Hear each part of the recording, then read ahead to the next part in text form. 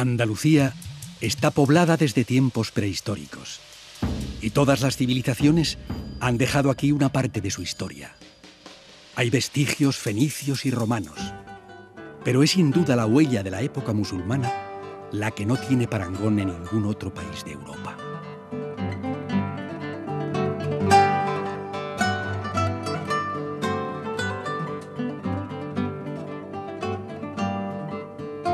Ocho siglos de presencia árabe en Andalucía han dejado monumentos como la mezquita de Córdoba, que fue la capital del califato y ciudad de convivencia entre musulmanes, cristianos y judíos.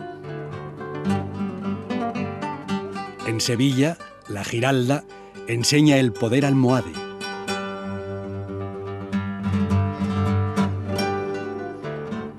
Granada fue el último reino musulmán de la península y la Alhambra y sus jardines la mejor muestra de su esplendor.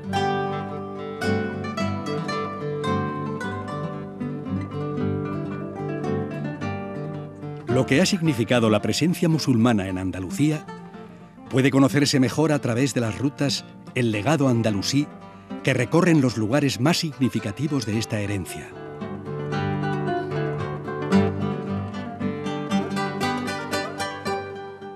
De Andalucía, de las costas de Huelva, partieron las naves que dirigidas por Cristóbal Colón llegaron al Nuevo Mundo.